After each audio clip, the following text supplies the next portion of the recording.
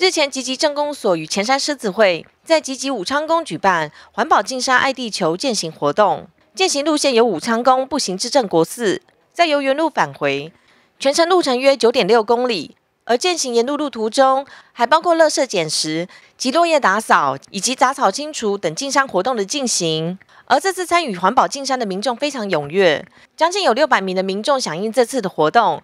活动结束后，不但有午餐可以享用，还有丰富的奖品来摸彩。相关单位表示，借由进山践行活动，让民众亲近大自然，并培养环保意识，也将环境整顿与美化。这一次是由前山狮子会和吉吉镇公所合办的这一次二零一七年环保进山爱地球践行活动。最主要的目的就是要借这次的活动，呼吁大家要随时做环保。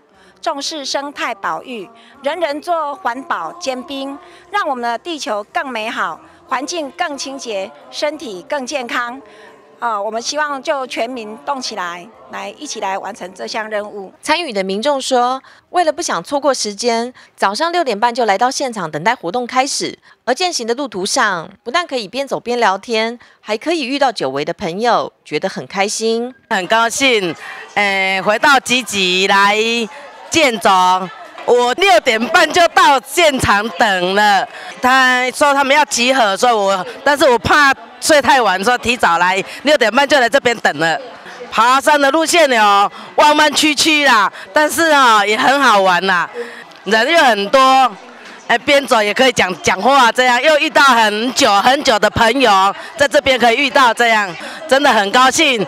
有的民众还从外地远道而来，并携家带眷来响应这次的活动，不但健身，又可以做公益，大家都觉得活动很有意义。我们是从台中后里来，然后我们是四代同堂一起来健走，然后走，哎，感觉刚开始的时候蛮辛苦的，后来还觉得还蛮好的，哎，可以来这边健走，又可以来这边捡垃圾啊，感觉还不错。我这样子来回大概走了三个多小时吧，哎，然后。